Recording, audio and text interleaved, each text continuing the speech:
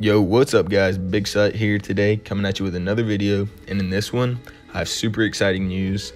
We have found the first key to get the customizable versions of the prisoner skin, also known as the Snowfall Challenge skin.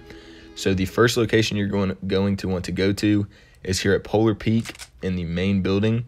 It's about two flights down from the very top of this building and you're gonna once you come up here you'll see this chimney here and you go to the very right of it there should be a table. I already broke it on accident.